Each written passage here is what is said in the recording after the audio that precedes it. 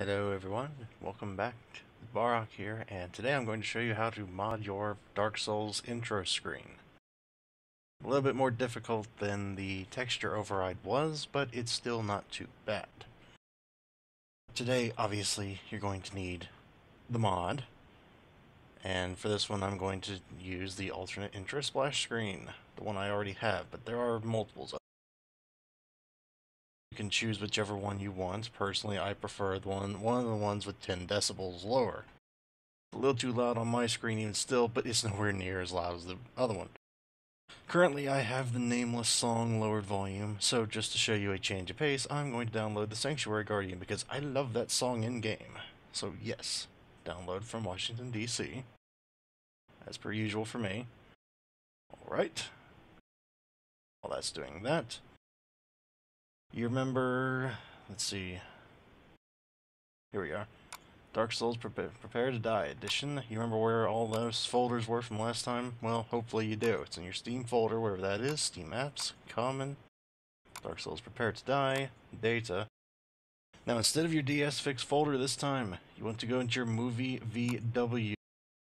Now, for the purposes of this, I'm going to copy the one I already have, because I'm going to want to use it later, and put it into my Dark Souls mod folder. You can put this anywhere you want. I just like putting it all in one folder just to keep it a little bit... Oh yeah, I already put that there. Alright, fine. For the purposes of this, we'll just put this here real quick. That's the one I already have. So what I'm going to do now is get the one I just downloaded. And now we go back to movie, the your Dark Souls uh, movie VW or VW or whatever that is, the MOVWW, and then you put that into there, move and replace. Now, let's see if that worked, shall we?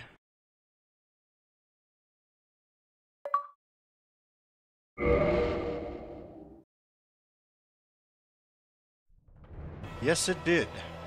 However, that is a bit loud.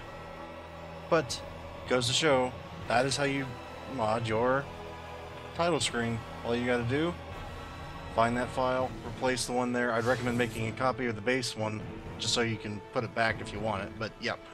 That's it, guys. I think this goes on for six and a half minutes or something like that. So if you like the music, you can listen to it, whatever you want to do.